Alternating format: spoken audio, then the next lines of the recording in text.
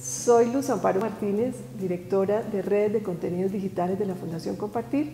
Quiero recomendarles la lectura del libro Práctica y Experiencia Docente, Claves del Saber Pedagógico Docente, una publicación elaborada en conjunto con la Universidad de La Salle y la Fundación Compartir acerca del oficio de ser maestro.